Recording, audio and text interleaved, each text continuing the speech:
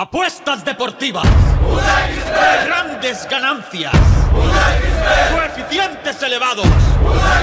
Casa de apuestas confiable.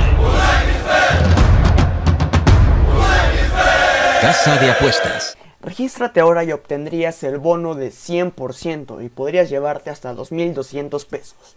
Link en la descripción. Hey, muy buenos a todos chicos, sean bienvenidos una vez más al canal de Ricky Fútbol. El día de hoy tenemos una gran noticia para aquellos aficionados de la selección mexicana. Y es que bien logramos conseguir algunas palabras de Matías Almeida acerca de qué es lo que piensa de dirigir a la selección mexicana.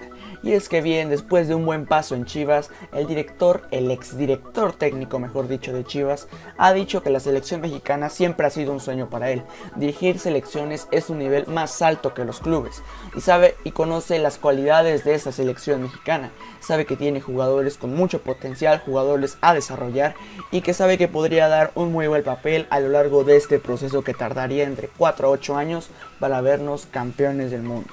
Es un director técnico el cual ha demostrado sus capacidades en el club de Chivas y actualmente la FMF estaría interesada en los servicios del argentino. Así que Matías Almeida podría llegar a la selección mexicana.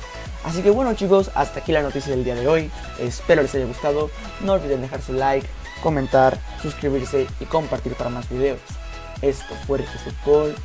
Hasta luego.